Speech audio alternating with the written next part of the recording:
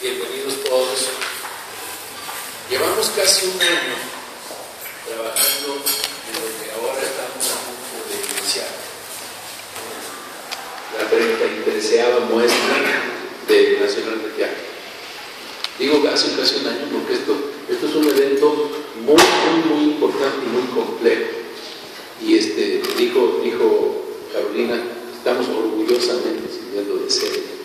Efectivamente, es un orgullo para San Luis Potosí tener a la muestra del Nacional de Teatro. Los, cada uno de los lugares donde va requiere muchas condiciones de infraestructura, de vida cultural, que nosotros orgullosamente de nuevo tenemos.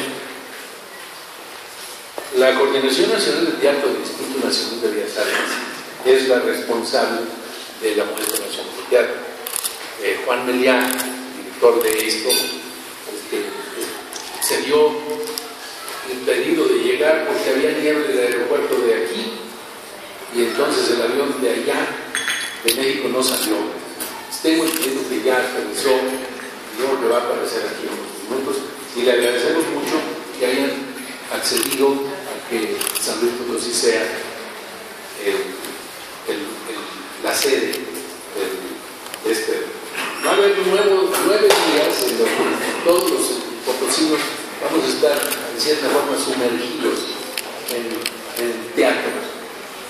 Tenemos 35 puestas en escena que se van a presentar en muchos lugares. Este, los, vamos a, los voy a decir en orden. Asociación Teatral La Carrilla, que es una parte privada, Centro Cultural Universitario Bicentenario de la Universidad Autónoma de San Luis Potosí, el Centro de Difusión Cultural Raúl Gamboa de Potosino de Artes, el Centro de las Artes San Luis Potosí Centenario, el Teatro Carlos Amador, la Cineteca Alameda, el Teatro de la Paz, el Teatro Instituto Mexicano del Seguro Social, el Teatro del Rimosón Enamorado, un, es un espacio privado que ha sido apoyado tanto por el Estado como por la Federación, espacios tentativos de una casa de habitación.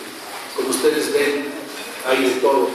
Y vuelvo a decir el gusto que tengo de que en esta ocasión, en el presidio, estamos lo que yo llamo las tres fuerzas culturales de la ciudad de San Luis Potosí.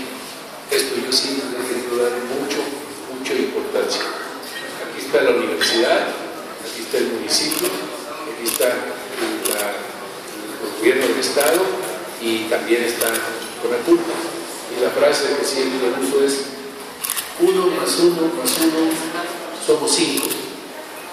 Damos mucho más juntos que lo individual.